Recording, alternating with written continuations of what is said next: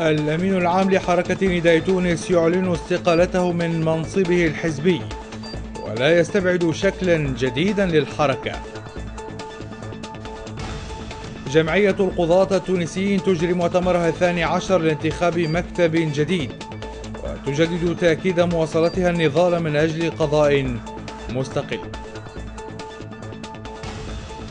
المرأة السعودية تشارك لأول مرة انتخابا وتصويتا في الانتخابات البلدية وتحقق الفوز بعدد من المقاعد في المجالس البلدية.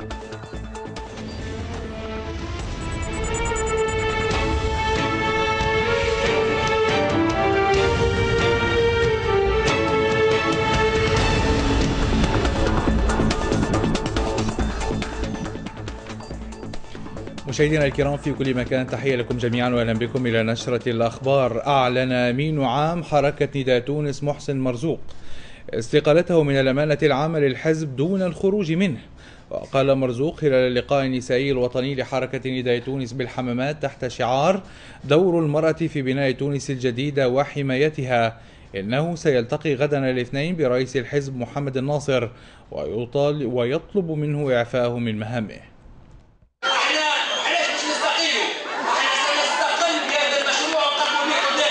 استقلالية وليست باستقالة. هكذا وصف أمين عام حركة نداء تونس محسن مرزوق قراره طلب إعفائه من منصبه الذي لا يعني انسحابه من الحركة حسب تعبيره. أنا منصبي كأمين عام ومسؤوليتي هذه بعد حل المكتب السياسي ما عادش موجودة. لذلك أنا مش نمشي نطلب من رئيس الحزب سي محمد الناصر إعفائي من منصب أو مسؤولية الأمانة العامة. لكن المشروع أنا فيه مناضل فيه مؤسس فيه وباقي معه خيان. ولن نخرج من أي مكان إلا إذا أخرجنا.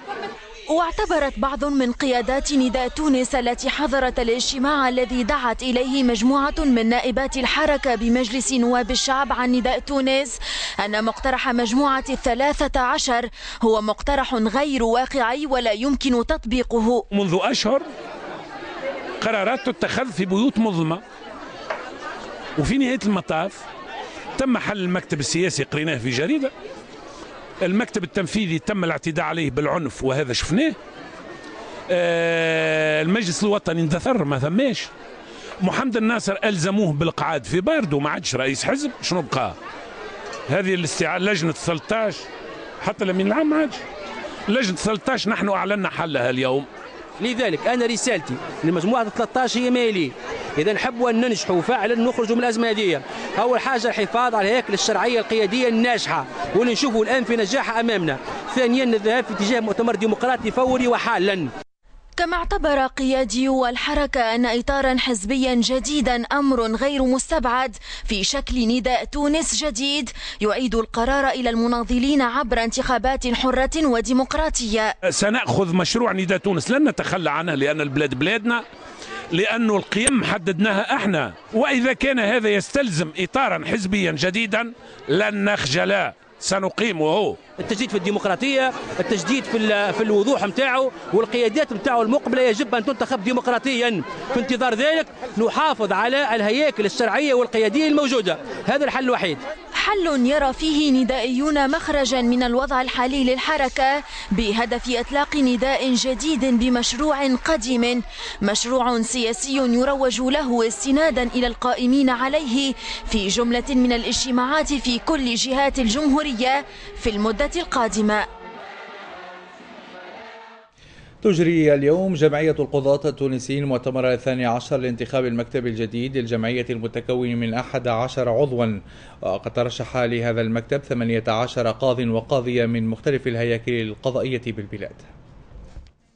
وسط حضور عدد من القضاة المترشحين ومجموعة من القضاة المراقبين انطلقت منذ ما يقارب الساعة الخامسة والنصف عملية فرز الأصوات لانتخاب المكتب الجديد لجمعية القضاة التونسيين.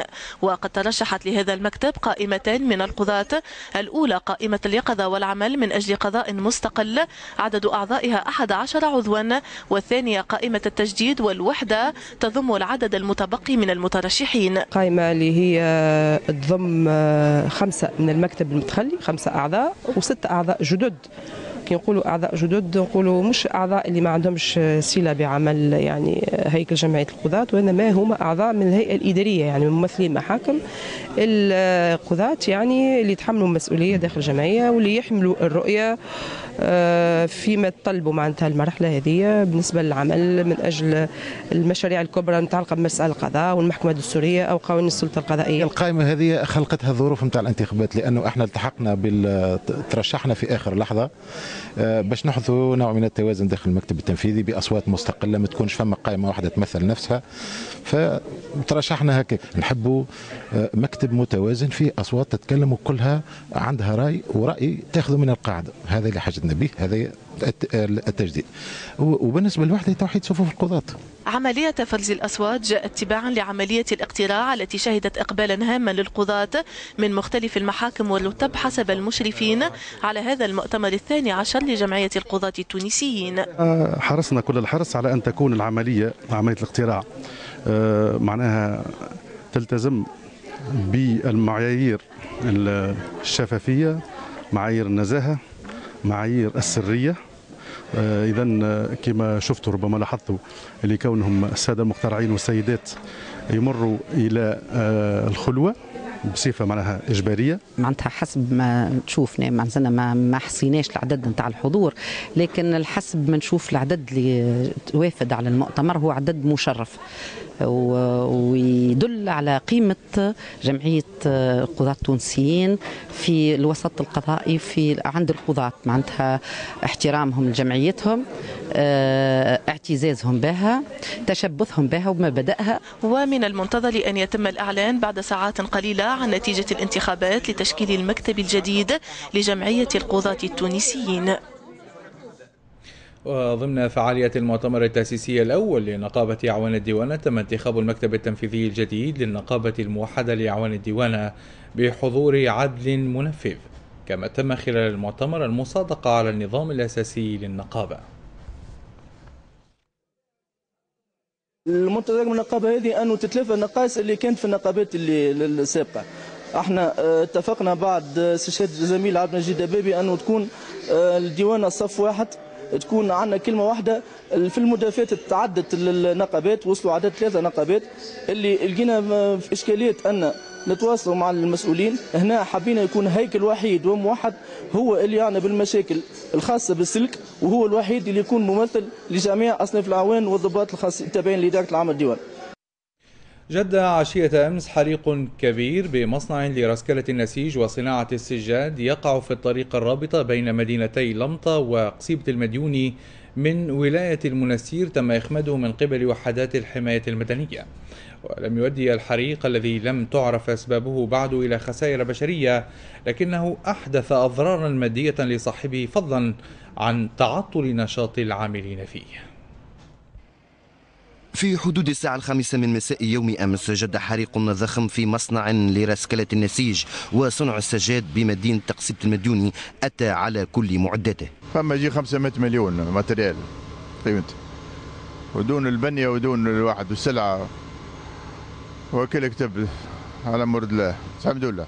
خدمة الكل طلعناهم وخرجت وخليت حتى واحد قاعد لداخل. أطوار الحادث شهدها العمال وصاحب المصنع الذين تدخلوا لإخماد النار لكنهم عجزوا عن ذلك. داخل وسط المعمل ومرة في النار قاعدة تشعل فوق فجبدنا المطافي ولينا تخنقنا ما نجمناش روحنا الحريق كان كبيرا مما دعا الولاية للتدخل وطلب التعزيز لوحدات الحماية المدنية لإخماد الحريق الذي تواصل إخماده قرابة 12 ساعة. تحولنا على المكان بشاحنات الإطفاء من فرقة قصر هلال وإدارة مقر الإدارة الجهوية للحماية المدنية من ستير. ثم تم تعزيزنا بالشاحنات من الإدارات الجهوية المجاورة سوسة والمهدية. في الحين تم تطويق المكان الحريق والقضاء عليه يعني آه، والحد من انتشاره. آه، تمت هذه تقريبا على حدود الساعة التاسعة مساء. ثم قاعدين نقوموا بعملية الرفش والتبريد. الحمد لله انه ما فماش خسائر بشرية تذكر ما فماش خسائر بشرية ولا جروح. إنما هي خسائر مادية بكلها منها في المصنع. مجهود أمني كبير وخسائر مادية لمصنع حرقت معداته ولم يعرف السبب لحد الآن. وإن لم يسفر عن خسائر بشرية فإن المصنع تعطل تماما وتعطل معه رزق عماله. في موضوع آخر الآن أدى وزير الصحة سعيد العايدي زيارة إلى المؤسسة الاستشفائية في ولاية المهدية ووقف على عديد النقائص أهمها عدم تفعيل بعض المشاريع المدرجة للمؤسسة الصحية فضلا عن بعض الإشكاليات المتعلقة بالتنظيم. تعد ولاية المهدية عشرة مستشفيات محلية ومستشفى جامعيا وحيدا بالإضافة إلى عدد هام من مراكز الصحة الأساسية موزعين على مختلف المعتمديات. المستشفى الجامعي طاهر الصفر هو أحدى هذه المؤسسات التي تعاني من بعض النقائص خاصة على مستوى التجهيزات والنظافة. أما فيما يخص جودة الخدمات فقد تباينت حولها الآراء. برا استنى تحليل برا سكانير استنى سكانير. أرجع استنى طبيب هنستنى في الطبيب أنا ساعتين وهي هي مجلوطة ونستنى. إحنا باهي. باهي ونظيف وتبدل. ça va service الحمد لله تلاهوا بينا مش نظافة شوية شوية. قسم الولدان من بين الأقسام الحديثة التي تم إحداثها بالمستشفى الجامعي الطاهر صفر فيما لا تزال بعض المشاريع في طور الإنجاز. نحاولوا تهيئة القسم الثاني من من قسم العيادات الخارجية وبالتأهية هذه إن شاء الله إن شاء الله ديما نقولوا إن شاء الله باش يقع تقليص من مده الانتظار قسم الاستعجالي. مبرمج وإن شاء الله هبط في في 2016 باش نبداو في البناء نتاع القسم هذا الاستعجالي في 2016 وعندنا ثلاث اقسام استشفائية انحلت في سنة 2015 هي قسم الولدان وقسم جراحة الكلى وقسم العيون. وزير الصحة سيد العايدي ولد زيارته لبعض المؤسسات الصحية بكل من أولاد الشامخ والسواسي وبومرداس والمهدية توقف عند بعض النقائص. تصرف. ثانيا يمكن ثم في الأدوية ما هذا حليناه تعرفوا اللي عام الجاي معناتها الميزانية اللي كانت ب 16 ولا 48 مليون دينار وباش نوفروا الدواء خاصة الأمراض المزمنة في كل على الخط الأول الحزام الأول. ثم مشاكل تنظيمية كي نشوفوا بعض التجهيزات اللي الميزانية موجودة. التجهيزات موجودة منذ 2014 ومازالت ما تركبتش ولا حتى الأشغال مازالت ما ما, ما انطلقتش الأشغال. 90% هي أمور تنظيمية وتسيير نتاع نتاع العمل ومتابعه نتاع العمل سواء كان فيما يخص المشاريع ولا فيما يخص العمل اليومي داخل المؤسسات. بناء مستشفى جهوي بمدينة الجم. كيف كيف؟ من ضمن المشاريع آه عن مشروع نتاع قسم لتصفية الدم بالجم.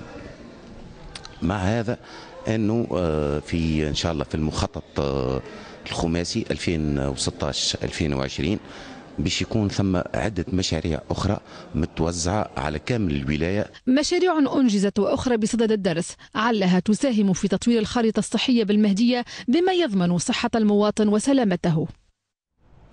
وزير التنمية والاستثمار والتعاون الدولي بدوره أدى زيارة عمل إلى معتمديات ولاية نابل للوقوف على سير أشغال بعض المشاريع. زيارة لم تخلو من مطالب من مطالب التنمية وضرورة حماية المرافق البيئية. مشاكل اجتماعية وبيئية كانت زيارة وزير التنمية والاستثمار والتعاون الدولي ياسين إبراهيم إلى ولاية نابل مطية بعض الأهالي لعرضها أملا في حلها. ولما الثورة وارجع. كل حاجة اشتغلت برنامج. واش نعملنا وهبطت التنمية كيف هكا هبطت حاجة. نعمل ما تعمل حتى شيء. واش نعمل لكم سبيطار. سبيطار التولة فما حتى شيء. فلاح مساكين زاد مرتة في مينا ودويات. شنو نعاونوكم جت الكوارث الطبيعية هذيك عند ربي يعاونوها ما عاونوش. ما فما حتى إشكال عندنا واد يسمى واد القرعة. منطقة الهوارية. سيبوا فيه الأوساخ نتاعهم الكل نتاع الفضلات المنزلية. الواد أصبح يعني المياه الملوثة نتاع درع علوش ونتاع المناطق هذه الكل أصبحت تتلوح في وسط الواد هذا ثم مباشرة يمشي يمشي والمعامل والكل يمشي الكل في البحر. زيارة العمل هذه اندرجت ضمن متابعة سير أشغال بعض المشاريع والبت في مسائل التلوث وبعث مشاريع مشاريع سياحية إيكولوجية. نجيو على الميدان نشوفوا شنو يا إما مشاريع مطروحة آه، قاعدة تقدم باش نسرعوا فيها وإلا تو دخلنا كما تعرفوا إحنا في المرحلة نتاع تحديد المشاريع للمخطط آه، 2016 2020 لتونس باش نحطوا الأولويات. تو أنا في في تكلسة تكلسة عندها إمكانيات كب- كبرى معناها في ال- السياحة الإيكولوجية فما بعدين الأفكار طرحت. من بعد لازمنا نشوفوا كيفاش تنفيذها وكيفاش تكون عندنا الاعتمادات. قبل كنا شفنا آه، آه، معناها شبكة السكك الحديدية آه، فما إمكانيات كبرى زادة في الولايات نابل على السكك الحديدية باش نطوروا باش نحسنوا الخدمات للمواطنين. وهنا مواصلين إن شاء الله باش نشوفوا مشكل بيئي بعد في الهوارية ومن بعد باش نمشيو نشوفوا بعض المشاريع المطروحة في المعتمديات الأخرى. مشاريع تبدو ذات آفاق واعدة بينما يرجو المواطنون ألا تبقى مجرد ورقات فوق محامل خشبية لا ترى الشمس ويحسم أمرها فعليا على الأرض. بالتعاون بين الغرفة التجارية والصناعية لتونس ووزارة التربية وبتمويل من الاتحاد الأوروبي تم اليوم الإعلان عن انطلاق مشروع المبادرة الخضراء للمتوسط المتمثلة في تركيز آلات تثمين ورسكلة البلاستيك في المدارس. انطلق اليوم مشروع المبادرة الخضراء للمتوسط الذي يتمثل في تركيز آلات جمع النفايات في المدارس وتثمينها. مبادرة بيئية تندرج في إطار التعاون بين دول حوض المتوسط من أجل معالجة النفايات ورسكلتها وتوجيه الشباب وحثه على العمل البيئي من خلال الترويج لوسائل وأساليب دعم البيئة على صعيد المؤسسات التربوية. مشروع هام مش يعطي خاصة للأطفال والتلامذة يعني التعود على حماية البيئة وإن شاء الله خارج حتى المد- المدرسة الابتدائية وخارج المؤسسات التربوية كل التوانسة وكل المواطنين يحافظوا على بيئتهم ويستعملوا ال- ال- الأماكن المخصصة للنفايات. وزير التربية ناجي جلول أفاد أن الوزارة منفتحة على محيطها خاصة أن النظافة والمحافظة على المحيط عمل يومي دؤوب كما أكد أن سلطة الأشراف تسعى إلى ترسيخ تقاليد المحافظة على البيئة لدى الناشئة. قبل العطلة بيوم ستنطلق حملة كبيرة للنظافة في الوسط المدرسي ومحيط المدارس بالاشتراك مع وزارة الداخلية بالاشتراك مع اليوتيكا بالاشتراك مع المجتمع المدني باش الصغار يوليوا يتعلموا ينظفوا مدرستهم لأن دارهم دارهم يت- هذاك علاش يطلع الصغير يسابروبري الفضاء.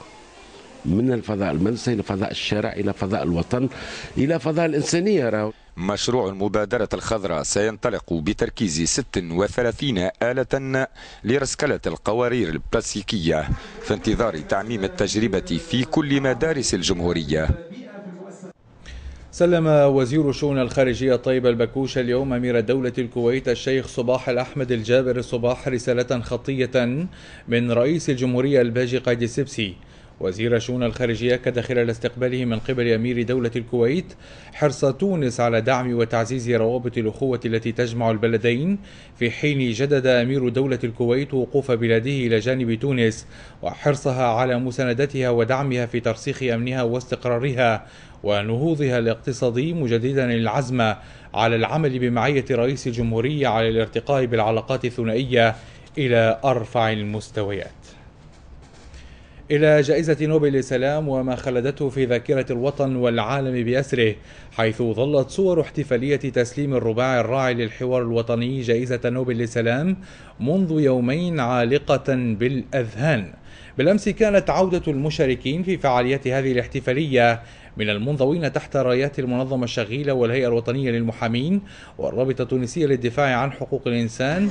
الخطوط التونسية ممثلة في طاقم الطائرة التي أقلتهم في رحلة العودة إلى تونس. اختارت تحيتهم على طريقتها.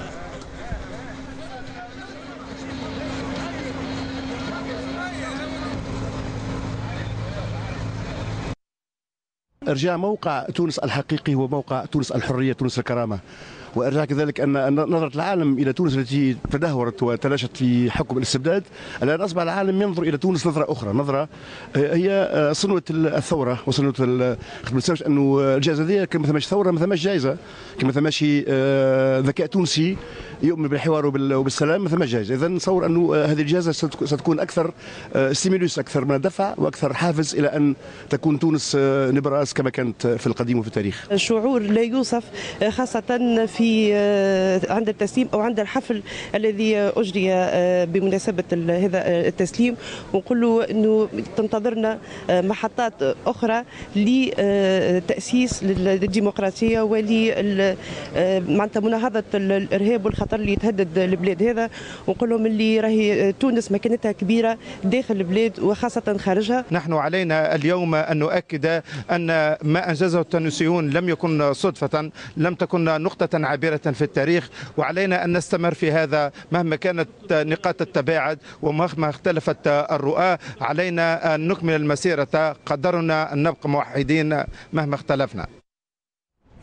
أكثر من 200 زائر يستقطبهم المعرض الدولي للملاحة الترفيهية بباريس. معرض شارك فيه العديد من محبي عالم الترفيه البحري والمهنيين التونسيين بما في ذلك ممثلو جل الموانئ الترفيهية التونسية. أكثر من 200 ألف زائر استقطبهم الصالون الدولي للملاحة الترفيهية بباريس. معرض شارك فيه مختلف المهنيين التونسيين في هذا القطاع بما في ذلك ممثلو جل الموانئ الترفيهية التونسية للترويج لمختلف المنتوجات والخدمات التي تقدمها تونس في مجال الملاحة الترفيهية. أصحاب اليخوت من أكثر من 55% من الجنسية الفرنسية. ولذا تواجدنا في في باريس هام جدا. وعلاش يجيونا بصفة خاصة ينجموا لأنه الثمن نتاع التصليح الفلاك نتاعهم في تونس أرخص بياسر من التصليح في أوروبا. يقول الخبراء إن هذا النوع من السياحة كان الأقل تاثرا بعد أحداث باردو وسوسة ويعطي دفعا ديناميكيا للاقتصادات الجهوية بالنظر لما يتطلبه من خدمات ثانوية متعددة وهو ما يستدعي التركيز على جودة المعروض باعتبار أن أنجع طريقة للتسويق في هذا المجال هي الصورة التي ينقلها السياح أنفسهم عن مستوى الاستقبال بالبلاد. هناك عدة مهن ونشاطات مرتبطة بإمكانها أن تتطور بفضل الملاحة الترفيهية في مختلف المواني لكن لا يوجد إيجابيات فقط بل هناك أيضا سلبيات سهلة المعالجة إذ يواجه أصحاب القوارب السياحية تعقيدات الإجراءات الإدارية. من جانب آخر يمثل المعرض فرصة لاجتذاب المستثمرين الأجانب في قطاع الملاحة الترفيهية وفرصة للتعريف بالقوارب الشراعية المنتجة في تونس. تلعب السياحة البحرية التونسية ورقة رابحة بحضور مهنييها في هذا المعرض خاصة وأن هذا القطاع يمثل موردا هاما للعملة الصعبة للبلاد إذ تشير الأرقام إلى أن سائح الموانئ ينفق في أدنى الحالات عشرين مرة أكثر من السائح العادي طوال إقامته في تونس. وسيم الدالي للتلفزة الوطنية التونسية باريس.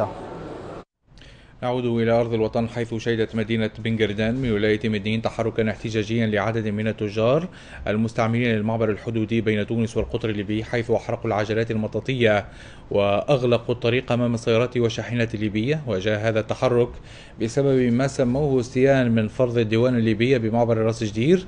دفع أداء يقدر بألف جنيه ليبي على سلع وهو ما اعتبروه تضييقا عليهم وسوء معاملة لهم بحسب قولهم. معبرين عن رفضهم مثل هذا الإجراء. وتواصل هذا التحرك مدة ساعة أو أكثر بقليل. يتدخل الأمن ووجهاء المنطقة لفك هذا التحرك واستعادة الحركة بشوارع المدينة غير أن التذمر لا زال ينتاب الكثيرين مطالبين الجهات المعنية بالتدخل لضمان انسياب البضائع بالشكل المعتاد وللحفاظ على موارد رزقهم. تزخر المدينة العتيقة في صفاقس بمساكن تمتاز بطابعها المعماري العربي الإسلامي. لكنها بقيت في معظمها مهملة. أحد أصيلي مدينة صفاقس اقتنى أحد هذه المنازل واختار ترميمها وإعادة استغلالها كفضاء سياحي. هكذا أصبح هذا المسكن المهجور الواقع بالمدينة العتيقة بصفاقس مسكن اقتناه صاحبه ليعيد إليه الروح. عملية ترميم وتجميل بأيادي حرفيين مهرة تجري بنسق حثيث. صاحب الدار هذه هو محمد ناصر بن عرب خويا الكبير. عايش في فرنسا عنده خمسين سنة وبحكم حبه للبلاد والوطن حب يعمل هالمشروع هذا هو الغرض نتاعو هو إحياء مدينة صفاقس العتيقة من جديد. هذا المشروع الأول من نوعه في المدينة العتيقة بصفاقس سيضفي بعد استكمال إنجازه حركية على السياحة بالجهة. يتمثل في دار إقامة مميزة تتكون من غرف للسكنة ومن مطعم فاخر فهمت؟ ومن مقهى ثقافي. الخصوصية المعمارية للمكان الذي تفوح رائحته بعبق التاريخ العربي الإسلامي ستزيد من جماليته نوعية الأكلات التقليدية الصفاقسية وحتى العربية. ثم فكرة أنه نعمل يوم في الأسبوع يكون يعني الأكل متاعه يكون من بلد عربي. صعوبات اصطدم بها إنجاز هذا المشروع غير أن إمكانية تجاوزها تبدو في الإمكان. وتزخر المدينة العتيقة بصفاقس بمساكن كثيرة تمتاز بطابعها المعماري العربي الإسلامي غير أن الإهمال جعل منها خرابا وفي هذا الروبورتاج العمارة الإسبانية والإبداعات الهندسية كانت أبرز المواضيع التي حملتها مجسدات وأعمال طلبة المدرسة الوطنية للهندسة المعمارية والتعمير بسيدي بوسيد. هذه المجسمات المعمارية تحيلك وأنت تتجول بين بصريا إلى طموحات واضعيها. فمنهم من يرغب في تصميم دار للمسنين بمواصفات معينة ومنهم من يحرص على البعد البيئي في مجسمات. كانت المدرسة الوطنية للهندسة المعمارية والتعمير بسيدي بوسعيد فضاء لعرضها. خليت espace يكونوا يكون interactif ما بين المسنين تفاعلي ما بين المسنين والعباد اللي ما عندها حتى علاقة بال centre هذاك centre de retraite جينا بال exercice معناتها من association هي اللي عطتنا الفكر. معناتها باش ما نطيشوش البلاستيك هذا نتاع les jours اللي نراو فيه معناتها كل نهار طايش في الثنيات باش ديما نحافظوا على المحيط نتاعنا الجناح الثاني لهذا المعرض سافر بزواره إلى العمارة الإسبانية من خلال أعمال عدد من المهندسين المعماريين الإسبان في عدد من الدول العربية. هذا يكون فرصة بالنسبة للطلبة نتاعنا للاطلاع على الأعمال هذه. حبينا نتفتحوا على المحيط نتاعنا الاجتماعي والاقتصادي والثقافي. حافظوا على الموروث نتاعهم اللي يسموه لو كارتي غوتيك وزادوا عليه إذا يمكن أن نستلهم من هذه الطريقة وسيلة لتحسين المدن التونسية. أصبحنا شركاء مع هذه المدرسة وهذا مهم. تمكنا من توطيد العلاقة التي تجمعنا منذ زمن طويل. المعرض يندرج في إطار احتفال المدرسة الوطنية للهندسة المعمارية والتعمير بسيدي بوسعيد بالذكرى العشرين لتأسيسها. وفي أخبار العالم دعت القوى الغربية إلى وقف إطلاق النار في ليبيا لتمهيد الطريق أمام التوصل إلى اتفاق لتشكيل حكومة وحدة وطنية. وقال وزير الخارجية الأمريكي جون كيري أن غالبية ما سماها بالفصائل مستعدة للتوقيع عليه. وأضاف كيري أن معظم ممثلي الحكومة المعترف بها دوليا في ليبيا والحكومة المنافسة اجتمعوا ومستعدون للتوقيع على اتفاق ويرفضون أن يعرقله أي شخص. واجتمعت 17 دولة لإعطاء دفع أخير لمفاوضات تقودها الأمم المتحدة منذ عام من أجل تشكيل حكومة وحدة في ليبيا. السعوديات في أول اختبار لهن في تاريخ المملكة ينجحن في حصد مقاعد في المجالس البلدية.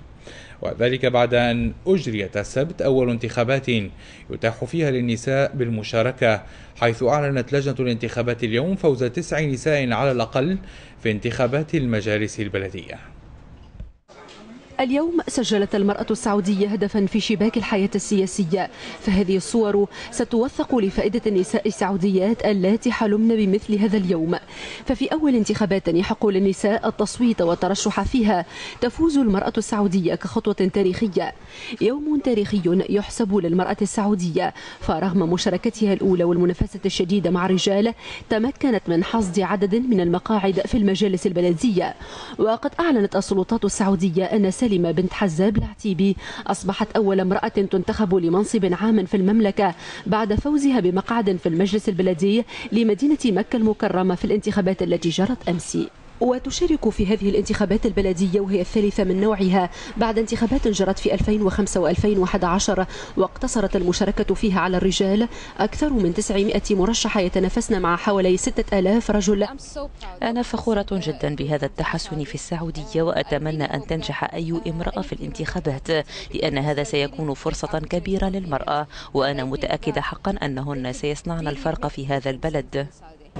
وتمثل مشاركة السعوديات في هذه الانتخابات بحسب العديد من المراقبين انتصارا نوعيا جاء بعد نضال حقوقي استمر لسنوات. وعدد آخر من المتابعين للشأن السياسي في المملكة يرى أن فرصة حق التصويت في هذه الانتخابات منحها الملك الراحل عبد الله بن عبد العزيز إلى النساء عام 2011 وفي فرنسا توجه الناخبون اليوم إلى صناديق الاقتراع في انتخابات جهوية تعد اختبارا لوزن القوى السياسية في البلاد وتشكل هذه الانتخابات الاستحقاق الاقتراعي الأخير قبل 18 شهرا من الانتخابات الرئاسية. بلغت نسبة التصويت في الدور الثاني من الانتخابات الجهوية الفرنسية 50.54% إلى حدود الساعة الخامسة من مساء هذا اليوم حسب ما أعلنت وزارة الداخلية الفرنسية. وتعتبر هذه النسبة عالية مقارنة بنسبة التصويت في الانتخابات الجهوية لسنة عشر وألفين والتي بلغت إلى حدود نفس الساعة 43.47% وكذلك بالنسبة للدور الأول الأسبوع الفارط والذي كرس قوة أقصى اليمين المسلمين بحلوله في الطليعة. ويأمل حزب الجبهة الوطنية بعد نيله أعلى نسبة من الأصوات على المستوى الوطني في الشمال والجنوب الأسبوع الفارط. يأمل بالفوز بعدد من المناطق الثلاثة عشر مستغلا رفض الفرنسيين للأحزاب السياسية التقليدية العاجزة عن إيجاد حلول للأزمة الاقتصادية والخوف الناجم عن اعتداءات باريس الأخيرة. رهانات وتوقعات إن صحت سيكون هذا الاستحقاق الاقتراعي الأخير سابقة في تاريخ حزب أقصى اليمين خاصة وأنه على مسافة 18 شهرا من أبواب انتخابات رئاسية باتت زعيمة الجبهة الوطنية تعتبرها في متناولها. استطلاعات الرأي لا تزال مترددة تشير إلى احتمال هزيمة مارين لوبان المناهضة للهجرة وللوحدة الأوروبية بفارق ضئيل أمام مرشح اليمين المعتدل وممثل حزب الجمهوريين زافيي بيرتران الذي يستفيد من انسحاب المرشح الاشتراكي وتنازله له بعد هزيمته في منطقة ذات توجه يساري. هذا وحث الحزب الاشتراكي أنصاره على تأييد المحافظين بزعامة نيكولا ساركوزي في بعض المناطق للحيلولة دون وصول الجبهة الوطنية إلى السلطة. وسيتوقف هذا إلى حد كبير على ما سيفعله الناخبون اليساريون بعد انسحاب الحزب الاشتراكي من السباق في المنطقتين اللتين حققت فيهما الجبهة الوطنية الصدارة. اعتمدت بالإجماع بباريس 195 دولة المشاركة في المشاركة في فعالية مؤتمر المناخ اتفاقا وصف بالتاريخي يهدف إلى الحد من انبعاثات الغازات الدفيئة بأقل من درجتين ويلزم هذا الاتفاق العالمي البلدان الموقعة بمتابعة جهودها للحد من هذه الانبعاثات بدرجة ونصف الدرجة مقارنة بالفترة التي سبقت المرحلة الصناعية. ومن شأن هذا الالتزام التقليص من تبعية الاقتصاد العالمي إلى مصادر الطاقة التقليدية وهي الفحم والنفط والغاز. وفي أخبار الرياضة تغلب النجم الرياضي الساحلي على ضيفه نادي الإفريقي بهدف دون مقابل في اللقاء المتأخر الذي جمعهم مع عشية اليوم بأولمبي سوسة لحساب الجولة الرابعة من بطولة الرابطة المحترفة الأولى لكرة القدم. وجاء هدف المباراة الوحيد من ركلة حرة مباشرة نفذها بنجاح حمزة الأحمر. في الدقيقة السبعين ليرفع فريق جوهرة الساحل رصيده إلى 19 نقطة في المركز الثالث فيما تجمد رصيد حامل اللقب عند النقطة الثامنة. توج فريق جمعية تزركا بلقب النسخة الثانية لدورة كرة القدم بخمسة لاعبين إثر الفوز بركلات الترجيح على نادي كرة القدم بمورناك في الدور النهائي للمسابقة التي امتدت ليومين بمشاركة 16 فريقا ومثلت هذه الدورة فرصة للتحضير الجيد لفريق جمعية تازركة لمنافسة كأس العالم لكرة القدم المصغرة التي ستستضيفها تايلاندا عام 17 و2000 فيما تسعى تونس لاستضافة النسخة القادمة من المونديال. والله برشا رهانات المرة هذه. هو الدورة هذه هي بروفه قبل تنظيم تونس كاس العالم 2017 الناس ديما خايفة من تونس واليوم يعني sans faute. يلزمنا نعديو دورة ممتازة من جميع النواحي. والحمد لله رب العالمين هذا نجحنا فيه بشهاده الناس الكل ثاني حاجة 16 فريق نفس المستوى ما ثماش فريق فايز قبل الدورة. ما نعرفوش الفريق الفايز حتى لآخر دقيقة. الحمد لله ما قبل كل شيء. شفتوا معناتها surtout ال tournoi الكل معناتها كان صعيب. ثانيا معناتها match par match كل ماتش تعاملوا معاه كيف هو كيفاش ال adversaire كيفاش يلعب. الحمد لله كومريتو ما جاش بسهل معناتها بالبلانتيات والحمد لله سلكناها الحمد لله. الأهم من هذا الكل هو كونه المستوى شفنا مستوى محترم ومميز في الدوره هذه أحسن مستوى نتاع الدوره الأولى. آه هناك صارت عدة تحسينات حتى في التنظيم وخاصة عندما آه نشوف الدور النهائي والمباراة الصعبة الكل حكمهم حكم أجنبي من من تشيكيا. اختتمت يوم أمس بمدينة مراكش المغربية الدورة الخامسة عشرة للمهرجان الدولي للفيلم الروائي الطويل. أجواء هذا الاختتام نتعرف عليها في هذا التقرير. بعد حفلات البساط الأحمر التي استضافت نجوم العالم في الإخراج والتمثيل والإنتاج وبعد فرحة تسعة أيام من العروض السينمائية والتكريمات الفنية أسدل الستار على الدورة الخامسة عشرة للمهرجان الدولي للفيلم بمراكش أو ما تسمى بالمدينة الحمراء. النجمة الذهبية التي تعد الجائزة الكبرى للمهرجان. فاز بها الفيلم الروائي الطويل كثير كبير للمخرج اللبناني مير جون بوسعية. وهو فيلم تحدث فيه مخرجه عن المخدرات وفساد أجهزة الأمن إضافة إلى الطائفية المتجذرة في المجتمع اللبناني. وفضلا عن النجمة الذهبية فقد تم خلال حفل الاختتام توزيع جوائز أخرى على مستحقيها كجائزة لجنة التحكيم وجائزة أفضل مخرج وأفضل ممثلة وممثل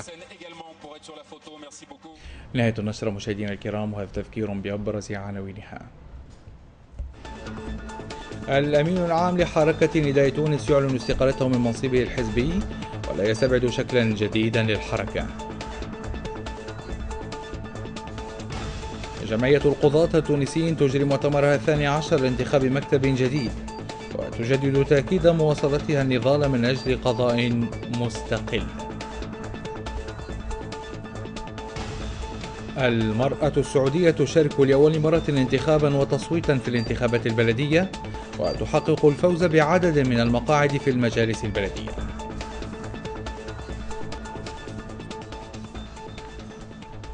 ودائما يمكنكم التواصل معنا عبر البريد الإلكتروني للتلفزة الوطنية فوا تونيزيا تي في نقطة آن. ونذكركم دائما أن سنة و200 ويوما مرت على اختفاء الصحفيين سفيان الشربي ونذير الكتاري في ليبيا. أشكر انتباهكم مشاهدينا الكرام. إلى اللقاء.